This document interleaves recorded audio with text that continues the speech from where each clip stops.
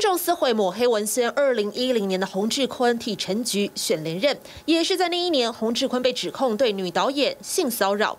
该名女导演脸书发文：“我只是想好好拍片，指自己在那一年收到民进党政治人物邀请，盼能为高雄年底的五都市长选举拍宣传片。不过某天，洪志坤跑到他投诉的汽车旅馆，暗示可以给他一笔钱，但有条件。那一晚甚至还故意碰触他的身体。消息曝光，洪志坤致歉，称给人不好感受，一定是我的错误。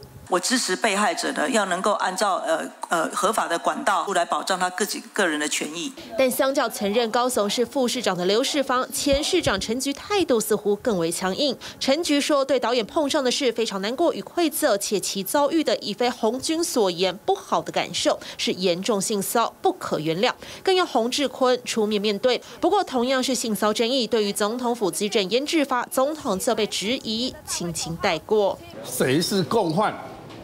请蔡政府，请民进党出来讲清楚。总统是不是不敢查严志发？总统的避谈或许也是因为严志发已提起刑事诉讼。只是绿营性骚风暴又一起，有议员前助理自述过去被服务处职工轻拍臀部，当下感受很恶心。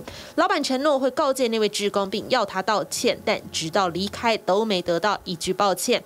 前两天看见前老板受访说性骚扰、职场霸凌绝对零容忍，实在很讽刺。也正因这句话，外界点名老板是他。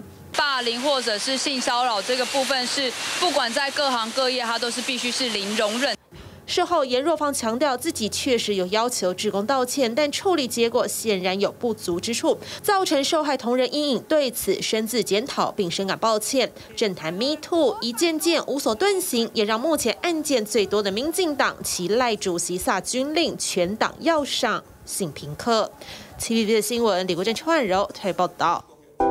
想看最完整的新闻内容，记得下载 TVBS 新闻网 APP。